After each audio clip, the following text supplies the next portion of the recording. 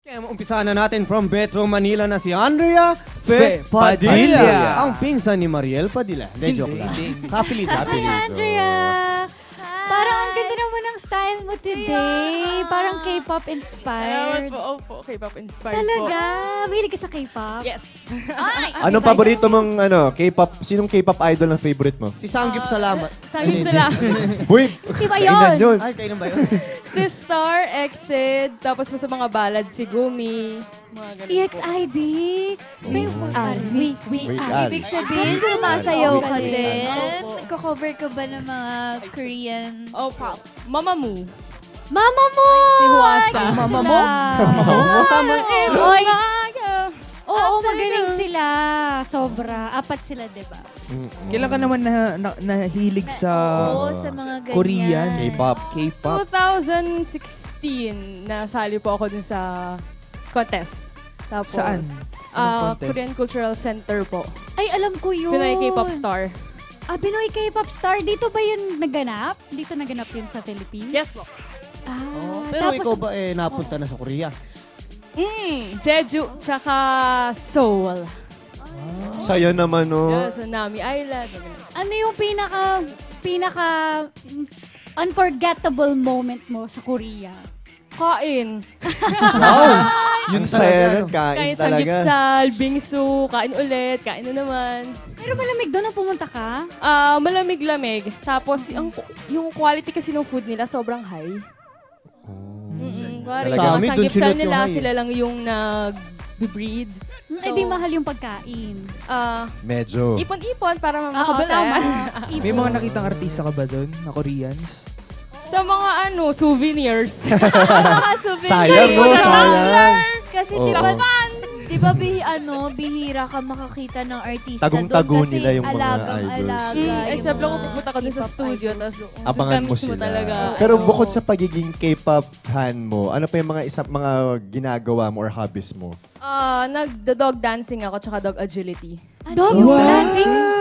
Ibig sabihin nun? Nagtitrain ka ng mga aso. Hmm, sumasayaw kami ng aso ko. Sayang. Nagaganon siya, tapos ikot-ikot siya sa akin. Anong breed ng dog mo? Dogs mo? Ah, yung super duper sumasayaw, miniature schnauzer Ooh, cute. na black. Tapos yung iba, ah, si, si Summer St. Bernard, si Silver Beagle, tapos meron kami mga Aspen, meron kami... Ano to? Paano ka nagsimula dyan? Ano, ah, gusto ko talaga matuto about that kasi napanood ko si Ashley and Podsy, yung Britain's Got Talent na nanalo. Sabi ko, kaya ko yun na.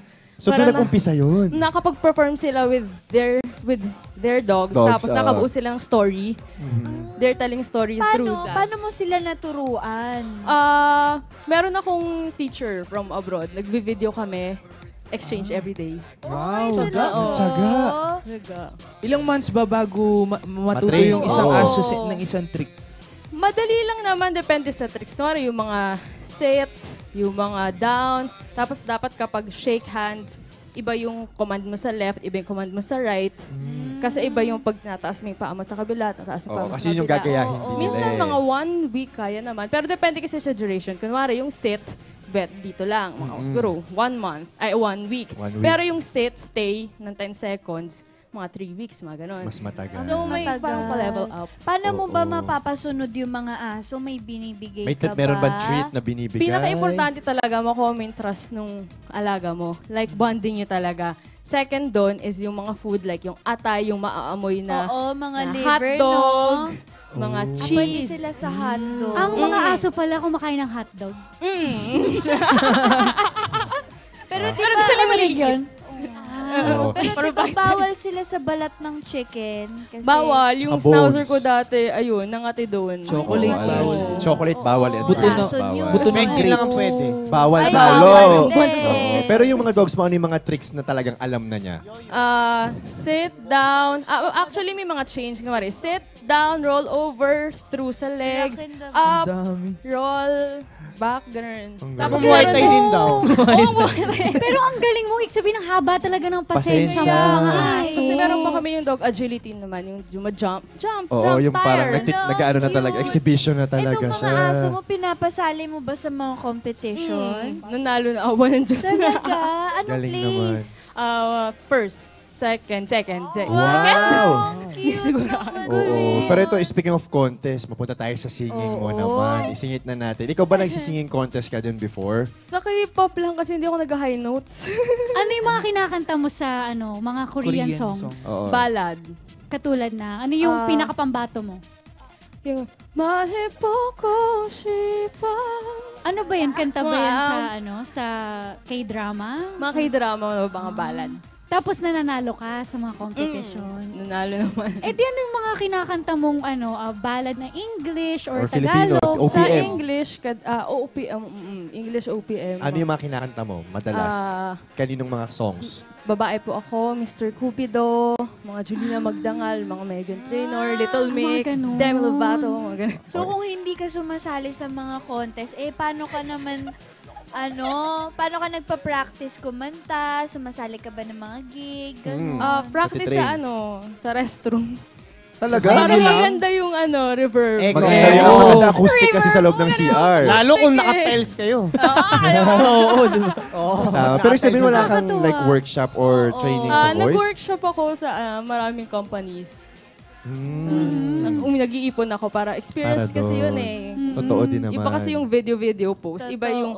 Yung Factual. at- actual. Magkaibang Oo, ano, tama. magkaibang art sila. Ibig Tama, sabihin, pag totoo kumakanta naman. ka, sing and dance. Madalas. Minsan sing and dance, minsan sing lang. Ah, Minsan dance okay. lang. Halo-halo. Paano ka ba nagsimula sa pagkanta? Ah, yung pinsan ko kasi, pag pupunta sa bahay nung high school ako, gusto pa yung VCD. Uy, kanta tayo! Ay, Open! Oh, kanta mo yan. Pak, ganun, sala.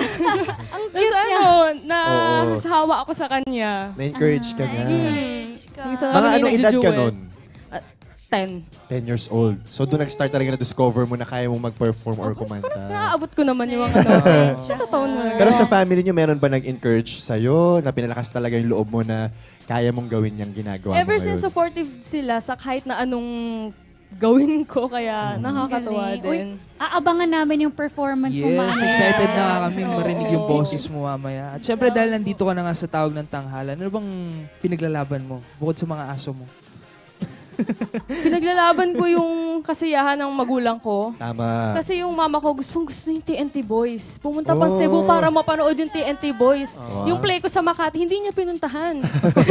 Lalo pag nakita niya ang hashtag Pumunta ng boys. Cebu, pagkalayo-layo. Pero kasi sobrang love niya. May t-shirt siya, may headband. Yung sabi ko, ba't pa siya lumipad ng Cebu? Eh, may concert naman ng TNT Boys dito sa Araneta last time. Para makapanood pa rin niya. Talaga? Oh, yun to. Ang sweet naman ng mama Pero ikaw naman yung papanoorin niya mamaya. Thank you so much sa'yo, Fea. Salamat.